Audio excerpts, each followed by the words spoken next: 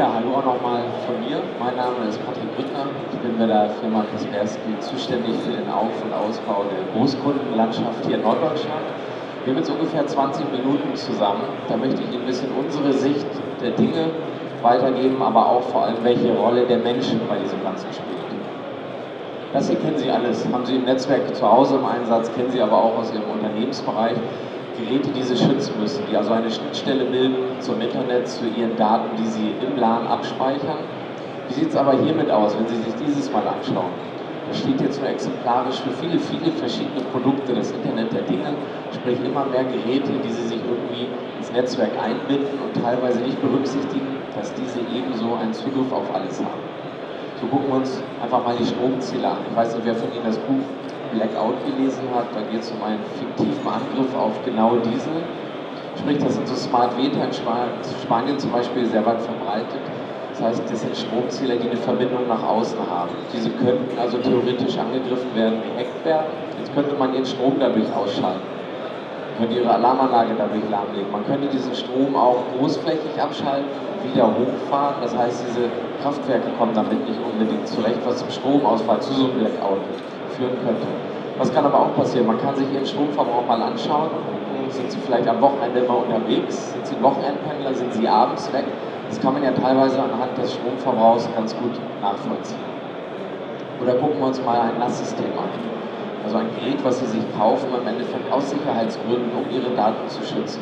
Das heißt, Sie investieren vielleicht Geld in eine Antivirus-Software, in eine Festplattenverschlüsselung, um diese Daten zu schützen was machen Sie am Ende des Tages? Machen ein volles Backup auf Ihre, auf ihre NAS-Systeme und berücksichtigen vielleicht nicht, dass es auch diese zu schützen gibt, da genauso in dieser Hard- bzw. Software Sicherheitslücken drin sein können, die eben ausgenutzt werden, um hier wiederum an Ihre Daten rankommen zu können. Das bei einem Gerät, was Sie sich aus Sicherheitsgründen gekauft haben.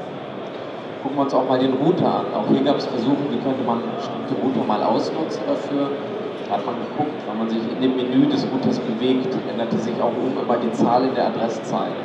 Also konnte man hier über eine Brute Force Methode herausfinden, welche Zahlen sind noch vergeben, damit auch welche Seiten, dahinter stecken, auf denen sich wieder Funktionen befinden, undokumentierte Funktionen, die der Internet Service Provider im Zugriff hat, der Hersteller, nicht aber unbedingt wir als Endanwender und eigentlich Administrator und Inhaber dieses Geräts. Da waren dann teilweise auch Funktionen dabei, wie zum Beispiel Remote-Zugriff. Was gibt es noch? Gucken wir uns mal an, zum Beispiel ein Smart TV. Haben wir auch vielleicht zu Hause, also Fernseher, die nicht mehr nur noch zum Fernsehgucken da sind, sondern wo Sie Apps installieren können, wie die YouTube-App, um hier Videos zu streamen. Die gibt es aber auch im Unternehmensbereich. Das heißt, Sie stellen diesen Fernseher in Ihrem Besprechungsraum, binden ihn ans Netzwerk an. Konfigurieren Sie denn hier auch den Port, dass dieses Gerät nicht alles im Netzwerk darf, weil im Endeffekt steckt hier auch ein Computer dahinter. Das heißt, Sie holen sich hier ein Netzwerkgerät in Ihr Netzwerk rein, gucken Sie dann tatsächlich, welche Rechte dieses Gerät hat. Ich auch immer mal geguckt, was, was könnte da denn stattfinden. Und so gab es hier einige Modelle, die diese Thumbnails, also zum Beispiel die Logos der Sender, unverschlüsselt übertragen haben. Das heißt, hier hätte man mit einer Man-in-the-Middle-Attacke unter Umständen sich dazwischen schalten können und über diesen Wege versuchen können, Schadsoftware hier einzuschleusen. Das ist jetzt nur exemplarisch einfach mal rausgegriffen. Es gibt eine ganze Menge und wofür dies stehen soll, ist eigentlich, dass wir uns bewusst machen, dass wir im Endeffekt nicht uns nur absichern können, indem wir ein starkes Kennwort verwenden. Wie dieses aussehen kann, zeige ich gleich auch mal.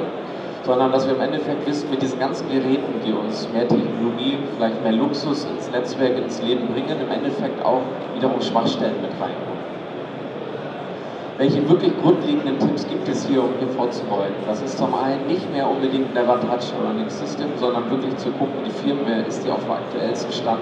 Auch hier wieder angefangen bei einer einfachen WLAN-Steckdose.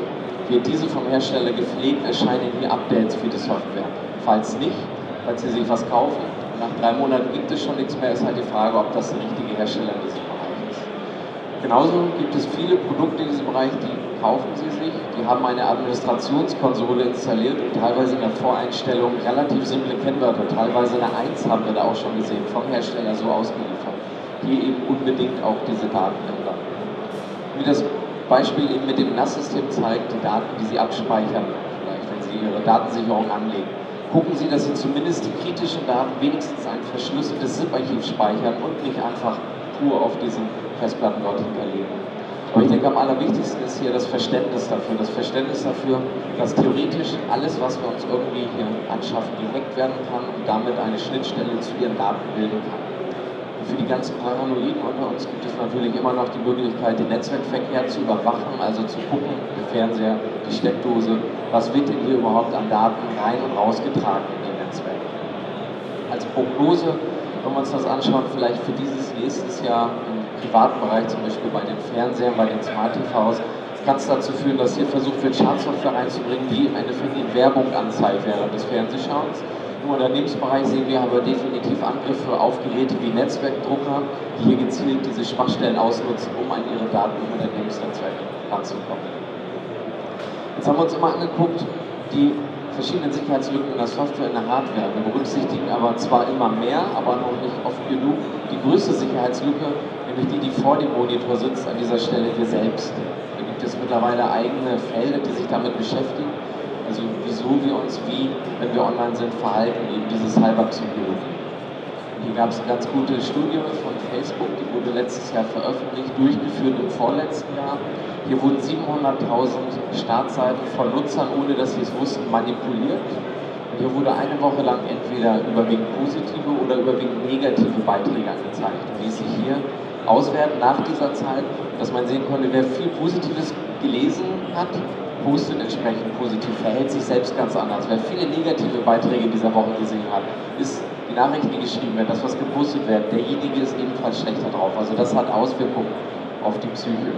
Was wir auch kennen, ist, wir gehen vielleicht auf eine Tür zu, die soll uns jetzt gleich durch den Öffner automatisch aufgehen. Oder Sie sitzen an einem PC, arbeiten drei Stunden ohne vielleicht eines Backups zwischendurch, hängt sich diese auf, Ihre Daten sind weg. Dann neigen Sie dazu, Ihr altes Hirnmuster zurückzufallen, weil unser Hirn entwickelt sich seit tausenden von Jahren und ist erst jetzt plötzlich konfrontiert mit diesen scheinbar menschlich denkenden, interagierenden Maschinen also ein Computer, der macht es ja nicht mit Absicht. Genauso wie die Tür, die einen Fehler hat, die also nicht mit Absicht diese Tür nicht aufgemacht hat. Wenn wir das aber sehen, sind wir einfach bei unserem Gehirn 2.0 noch nicht angekommen. Und da sind die Schwächen in der menschlichen Psyche, die uns dann dazu verleiten, hier menschliche Emotionen hochkommen zu lassen zu diesen Geräten. Und genau das sind die Schwächen, die auch die Programmierer der Schadsoftware ausnutzen. Das heißt, was hier für unser sicherheitsrelevantes Verhalten wichtig ist, dass wir uns diese Schwächen bewusst werden, weil genau das tun diese entsprechenden Kriminellen, die dieses ausnutzen, eben auch. Zum Beispiel bei dem Social Engineering, was wird hier ausgenutzt? Das Vertrauen, die Autorität, die Hilfsbereitschaft und auch die Neugierde von uns. Also das Vertrauen beispielsweise dadurch, dass Sie eine gefakte E-Mail bekommen, vielleicht von einem Freund. Da ist ein Link drin, hier, da ist was Lustiges, klickt doch mal drauf. Sie vertrauen natürlich diesem Absender und klicken diesen Link an. Auch bei der Autorität, Sie bekommen vielleicht eine E-Mail, eine gefakte E-Mail Vorgesetzten oder von der IT-Abteilung mit einem Patch oder einem vermeintlichen Patch drin steht, der ist jetzt wichtig, der muss noch bis heute Abend eingespielt werden. Was machen Sie vielleicht? Doppelklicken diese Datei und möchten diesen vermeintlichen Patch installieren, weil Sie hier die Autorität angegriffen wird. Hilfsbereitschaft ist auch ein Beispiel, dass Sie zum Beispiel eine E-Mail bekommen, auch eine gefakte, dort sollen Sie Geld spenden kommt vielleicht von einer Hilfsorganisation, alles gefaked, aber sie sollen nie Geld überweisen, um für irgendwas zu spenden. Oder ein vermeintlicher Freund, der vielleicht in Not ist und ihre Hilfe braucht und sie auffordert, auch ihr Geld zu überweisen. Und die Neugierde kennen wir sowieso, wenn wir eine E-Mail bekommen oder auch irgendwie einen Link oder Bilder, Dateien. Wir wollen sehen, was verbirgt sich denn hinter diesem Link, was ist in dieser gepackten Datei vielleicht irgendwie drin. Und da gab es ein ganz gutes Beispiel auch wieder in diesem Buch Blackout. Es war so eine E-Mail von der angeblichen Personalabteilung, die wurde geschickt an eigentlich eine Person, mit Absicht aber an alle. Dort war ein Anhang drin, nämlich eine Datei, die hieß so Kündigungswelle Mitarbeiter. Die hat jeder bekommen was, also wollte man hier machen. Natürlich, man ist wieder hier neugierig, die Neugier wird ausgenutzt, man klickt auf diese Datei, wird sehen, ob man auch in dieser Datei drin aufgenommen Das kann man auch mit USB-Sticks machen. Das heißt, es gibt die Möglichkeit, Schadsoftware auf USB-Sticks zu kopieren und diese auf dem Unternehmens Grundstück liegen zu lassen, als hätte man sie dort verloren, vielleicht auf irgendwelche Toiletten niederzulegen, dass eben auch jemand diesen USB-Stick nimmt. Dann passt es wieder zur Neugierde der Menschen. Was wird gemacht? Dieser USB-Stick wird irgendwie mitgenommen. Man will wissen, was ist an irgendwelchen interessanten Daten vielleicht auf diesem Stick drauf und wird den in irgendeinen PC reinstecken, um nachzugucken. Hier wird also ganz klar die Neugierde wieder ausgenutzt, um diese Schadsoftware übertragen zu können. Und auch die Hilfsbereitschaft am Beispiel der USB-Sticks, dass jemand vielleicht mit einem infizierten Stick ins Netzwerk, also in ein Unternehmen reingeht, dort am Anmeldetresen sagt, er hätte jetzt hier gleich ein Vorstellungsgespräch und hier ist noch ein Fehler entdeckt in seinem Lebenslauf, hier ist eine korrigierte Datei und ob die Kollegin den bitte ausdrucken würde einmal, damit er gleich fehlerlos in sein Gespräch reinkommen kann. Und auf diesem Stick kann ebenfalls Schadsoftware sein. Am wichtigsten hier aber wieder ist das, das, der, der Punkt, dass wir unsere Mitarbeiter, unsere Kollegen mit Awareness-Schulungen das bewusst machen. Das heißt nicht nur den Kollegen selbst, sondern am besten auch das nähere Umfeld. Denn was bringt das, wenn Ihr Kollege weiß, wenn er in Spanien im Urlaub ist, soll er nicht unbedingt posten, dass sein Haus gerade leer steht mit GPS-Koordinaten, er befindet sich in Spanien. Wenn es dann aber vielleicht ein anderes Familienmitglied macht und ihn als Teilnehmer dieser Reise hinzuzieht. Das heißt auch hier mit diesen Awareness-Schulungen, die es gab, die haben gezeigt, zu einer Auswertung mal, dass das, das Bedrohungspotenzial vorher bei knapp unter 50 Prozent lag dieser Person nach einer Awareness-Schulung ist dies gesunken auf knapp unter 30 Prozent. Also man kann hier es auch nicht jedem näher bringen, aber diese Awareness-Schulungen für Mitarbeiter und Kollegen, die helfen in diesem Bereich. Welche Möglichkeiten gibt es jetzt, diese sozialen Netzwerke zu nutzen, beziehungsweise welche Gefahren lauern für uns? Natürlich die Verbreitung von Schadsoftware durch Drive-by-Downloads, indem Sie auf Links draufklicken, aber auch der Diebstahl von Kontodaten, Kreditkartendaten, dadurch, dass sie vielleicht hier auf Shops geleitet werden, auf denen sie irgendwelche neuen Handyhüllen vielleicht kaufen möchten und geben hier wieder ihre Kreditkarteninformationen an. Sie bringen hier auch ihre Freunde in Gefahr, dadurch, dass sie vielleicht unwissentlich auf interessante Sachen klicken, gefällt mir, teilen, eventuell beitern und hier wird wieder das Vertrauen vielleicht ausgenutzt.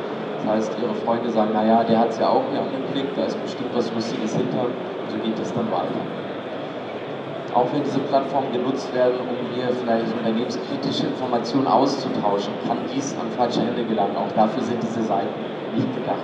Und man geht auch ungefähr davon aus, dass es bis zu 15 Minuten dauert, bis der Mitarbeiter, der auf diesen Seiten gesurft hat, wieder in seinen Arbeitsfluss reinfindet. Das heißt, man kommt hier auf ungefähr eine Stunde pro Tag pro Mitarbeiter Arbeitszeitverlust durch das Surfen auf dieser Seite als solches und der entsprechende, der entsprechende Zeit hinterher, die es dauert, bis man wieder so weiterarbeiten kann wie zuvor. Weiteres Beispiel ist eben, wenn auch wenn Sie Ihre Profile nicht ausreichend gesichert haben, Sie also vielleicht immer posten, wenn Sie unterwegs sind, joggen mit Startpunkt, Endpunkt, der Zeit. Vielleicht gibt es hier Muster. Sie sind immer am gleichen See, joggen, immer samstags vielleicht um 14 Uhr. Man weiß also eventuell, wo Sie vielleicht unterwegs sind am nächsten Samstag, kann dort gezielt ein USB-Stick liegen lassen. Man kann aber vielleicht auch an der Start- und Endzeitpunktes und des, äh, der Lokalisation sehen, wo wohnen Sie vielleicht und kann dann gucken, wenn Sie Mitarbeiter der Tierabteilung vielleicht sind, lässt sich über Xing zum Beispiel herausfinden, Ihren Müll mal durchsuchen. Sind dort entsprechende Dokumente zu finden, die Ausschlüsse geben auf die Struktur des Netzwerks. Welche weiteren Gefahren sehen wir noch in diesem Bereich? Zum Beispiel die Hotspots kennen wir, nutzen wir selbst auch. Wie kann das zum Beispiel ausgenutzt werden? Sie gehen in den Schlosspark, in irgendeinem Park, setzen sich hin, klappen Ihr Notebook auf oder Ihr Tablet an und sehen dann freies Internet hier im Schlosspark. Was kann passieren? Sie verbinden sich, surfen, rufen Ihre E-Mails ab, gehen vielleicht einkaufen, wählen sich auf sozialen Seiten ein was hier möglich ist, dass dies gar kein offizieller Hotspot ist, sondern jemand anders vielleicht drei Parkbänke weiter sitzt und hat diesen Hotspot selbst in Betrieb an seinem Gerät, gibt diese für sie frei und kann hier als Man in the Middle im Endeffekt alles mitspeichern, was sie hier im Internet machen.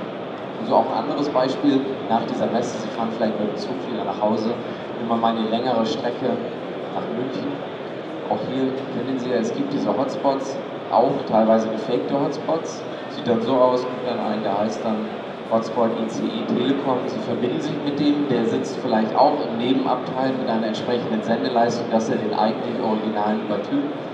Und sie landen auf dieser gefakten und in der Regel gut gefakten Startseite dieses Hotspots mit einer Meldung heute im Internet, äh, Internetsurfen im Angebot, vielleicht 24 Stunden, 49 Cent. Sie geben ihre Kreditkartennummer mit Prüfziffer ein. Sie glauben gar nicht, wie viele Kreditkartennummern man auf einer ICE-Fahrt einmal durch Deutschland tatsächlich damit sammeln kann. Ein anderes Punkt ist diese Ransomware. Kann so aussehen, das heißt, Ihre Festplatte wird verschlüsselt, Sie müssen anschließend Strafe zahlen, damit Sie an Ihre Daten wieder rankommen. Gibt es mittlerweile übrigens auch für mobile Geräte, also für Smartphones, dass diese verschlüsselt werden. gibt es aber auch noch in ganz anderen Ausprägungen, zum Beispiel, dass Sie eine Meldung bekommen auf Ihrem System, kinderpornografische Inhalte gefunden und Sie müssten jetzt Strafe zahlen. Das gibt es jetzt in der Version 2.0.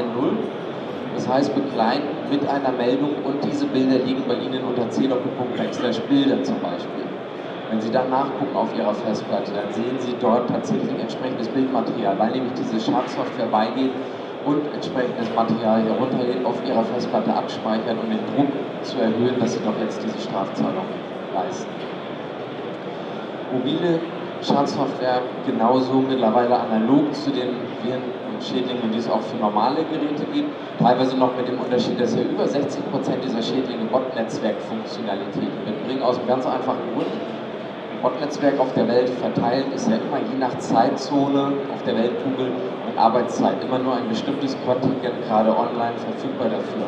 Aber diese Smartphones selbst, wann schalten wir die denn mal aus über Nacht? Regel machen wir es nicht. Die meisten von uns sind nachts an. Das heißt, wenn diese Teil eines Bot-Netzwerks werden, weil sie infiziert sind, hat im Endeffekt derjenige hier weltweit zeitzonenübergreifend ein recht großes Bot-Netzwerk zur Verfügung. Auch die Überfälle auf Bankautomaten und Banken nehmen zu. Für uns als Privatanwender oder eben nicht Bank selbst erfreulicher, auf uns nehmen sie im Moment eher ein bisschen ab. Es kann also so aussehen, eine Bank wird angegriffen und hier Gelder angewiesen. Oder auch, dass entsprechende Geldautomaten angegriffen werden, diese infiziert werden und es dann vielleicht bestimmte Zeitfenster gibt, zum Beispiel in der Nacht von Sonntag auf Montag von 2 bis 5 Uhr. In dieser Zeit kann eine PIN eingegeben werden, eine bestimmte. Dadurch wird im Endeffekt ein Menü aktiviert und über eine zweite PIN, die dieser Kurier, der jetzt das Geld dort abholen soll, telefonisch anfordert und diese dann eingibt, wird diese Geldsumme ausgespuckt. Das immer nur in einem bestimmten Zeitfenster, damit es nicht zu auffällig ist. Und diese zweite PIN telefonisch aus dem Grunde, damit im Endeffekt der Kurier hier keine Alleingänge unternehmen kann. Wer noch Windows XP im Einsatz haben muss, kennt das auch. Es wird nicht mehr gepatcht. Das heißt, alle Schwachstellen, die hier irgendwie gefunden werden, sind Zero-Day-Schwachstellen für uns. Wichtig ist also hier, dass man, solange man dieses System benutzt, zumindest Funktionalitäten nutzt wie eine Kaspersky Advanced Exploit Protection, also Technologien, die verhindern können, dass Schwachstellen ausgenutzt werden, auch wenn diese noch nicht bekannt sind. Hier einfach durch das Verhalten der Dateien wird erkannt, dass hier diese Datei etwas macht, was sie eigentlich nicht sollte. Auch hier kann diese Schwachstelle natürlich nicht geschlossen werden, aber die Anwendung daran verhindert werden, diese auszunutzen. Welche besorgniserregenden Trends sehen wir im Moment? Zum Beispiel das fahrerlose Fahren. Natürlich aus dem Grunde, dass diese Systeme selbst angegriffen werden können, aber auch aus Grund der Privatsphäre. Denn hier wird im Endeffekt ein komplettes Bewegungsprofil ihres Lebens erstellt. Wo wohnen sie, wo fahren sie zur Arbeit, wo wohnen ihre Freunde, wo haben sie vielleicht ihre Hobbys, lässt sich alles anhand dieser Statistik nachvollziehen, wenn diese in falsche Hände gelangen. Und auch die Drohnen sind ein Beispiel im Moment noch nicht allzu weit entwickelt, deswegen eben auch als Trend. Sie sitzen vielleicht auf dem Balkon im Garten, sonnen sich, es taucht eine Drohne auf, fliegt sie, kleiner Helikopter vielleicht. Oder eben auch, Sie sitzen im Schlossgarten an Ihrem Notebook, arbeiten dort, loggen sich auf verschiedenen Seiten mit Ihrer E-Mail-Adresse, Ihrem Kennwort ein und eine entsprechend ähm, kleine Drohne mit einer hochauflösenden Kamera filmt Ihre Tastatur, Ihr Notebook und sieht letztendlich, auf welchen Seiten Sie gerade sind und welche Kennwörter Sie dort eingeben. Das verhält sich auch mit den Gesundheits-Fitness-Sensoren so. Sie haben hier irgendwas vielleicht dann ums Handgelenk das ist ihre Gesundheitsdaten und die werden irgendwo in der Cloud gespeichert. Sie wissen ja gar nicht, wo diese Daten landen. Sie wissen schon gar nicht, wie diese überhaupt geschützt werden. Also auch wenn diese Daten in falsche Hände gelangen, hat unter Umständen jemand anders einen besseren Überblick über ihren Krankheitsverlauf, über Krankheitsbild als sie selbst. Diese Smart Homes, die hatte ich ja initial angesprochen, so dieses Internet der Dinge, was immer mehr wird, sprich nicht mehr nur noch der PC, den Router, den es zu schützen gilt oder wo man eben seinen Schwerpunkt drauf legen sollte, sondern diese vielen kleinen Fenster, die sie im Endeffekt öffnen. Sie haben mit dem Router und dem PC vielleicht die Tür, die sie gut abgesichert haben, auch im Laufe der Jahre. Und jetzt kaufen sie immer mehr Gegenstände, die eine Verbindung mit ihrem WLAN haben, die eine Verbindung nach draußen haben und schaffen sich hier immer mehr offene Fenster in ihrem Smart Home. Aber das wird auch in Zukunft letztendlich immer mehr werden. Das Kennwort hatte ich vorhin kurz angerissen. Wie kann hier ein sicheres Kennwort aussehen? Und zwar so, dass Sie sich vielleicht auch noch merken können. Man muss ja hier auch immer den Kompromiss finden zwischen Bedienbarkeit und Sicherheit. Jetzt schauen Sie sich hier mal, Sie sehen schon die Macht der Sonderzeichen, die Zeiten an, die dahinter stehen. Das sind Zeiten, die es dauert, ein entsprechendes Kennwort mit einer Brute Force Attacke zu knacken, mit einem handelsüblichen PC, wie wir ihn zu Hause aufstehen haben. Und Sie sehen hier auch, wie, wenn Sie Sonderzeichen verwenden, dieses Ganze exponentiell in die Höhe geht. Wenn Sie jetzt hier unten blog.kaspersky.com Passwortcheck mal aufrufen, haben Sie hier eine Seite, dort können Sie verschiedene Kombinationen mal ausprobieren. Mal gucken, wie verhält sich das, wenn Sie nur Buchstaben verwenden, Großschreibungen hinzufügen, Zahlen, Sonderzeichen hinzufügen. Das heißt, Sie haben hier die Möglichkeit, vielleicht mal Muster auszuprobieren, wie Sie sich sichere Kennwörter erstellen können, diese aber im Endeffekt auch noch irgendwie zu merken sind. Das Ganze gibt es übrigens auch auf Klingonisch, wer das gerne sehen möchte, oben rechts dieses Symbol am. Ich verzichte an dieser Stelle einfach mal darauf, wie wir das Jahr 2015 aktuell sehen und gehe mal 30 Jahre weiter. Wieso 30 Jahre? Es ist ungefähr diese Zeit her, die wir jetzt uns mit diesen PCs mehr beschäftigen, zu Hause oder auch im beruflichen Umfeld. Das heißt, wie sehen wir, muss mit Ihren Worten zu sagen, so ein bisschen aus der Hüfte geschossen, die Zeit 30 Jahre später. Zum Beispiel Roboter gibt es überall. Die müssen wir uns nicht nur so vorstellen, wie wir sie hier vielleicht sehen, mit Arm, Bein, Gesicht, sondern so wie wir sie vielleicht sogar schon teilweise zu Hause haben. Die fahren durch unser Haus, saugen unser Wohnzimmer, sie mähen unseren Rasen. Das heißt, das sind die Anfänge davon. Da sehen wir definitiv die Zukunft. Die Computer, wie wir sie heute auch in der Masse verwenden, um daran zu arbeiten, werden weniger werden. Es wird viel mehr Gadgets, eigene Geräte geben, die im Endeffekt in der Summe letztendlich das ersetzen werden, was wir jetzt mit den PCs machen. Ebenso die Smart Homes, habe ich initial gesagt, werden stark ansteigen und auch wird es eine weitere Vermischung von Mensch und Maschine geben. Teile des Skeletts werden immer mehr abgebildet auch computertechnisch gesteuert, sowie zukünftig auch Organe, was wiederum dazu führen kann, dass unsere Lebenserwartung noch mehr steigt. Und hier als letztes Beispiel zum Beispiel den 3D-Druck. Im Moment noch ein bisschen rudimentär bei uns, kann in Zukunft aber ganz anders aussehen, dass wir uns sämtliche Alltagsgegenstände wenn es der Schraubenzieher ist, den wir jetzt gerade brauchen, um irgendwas zu operieren, uns drucken müssen, weil wir eine bestimmte Größe brauchen. Im Garten, wenn wir eine Blume umtopfen möchten, drucken wir uns diesen Blumentopf, was aber auch dazu führen kann, dass wir später Teile unserer Häuser, die wir bauen, hier sehr individuell gestalten können, um hier auch unsere Häuser entsprechend mit diesen Technologien bauen zu können. Wieso habe ich darauf verzichtet, was wir jetzt sehen?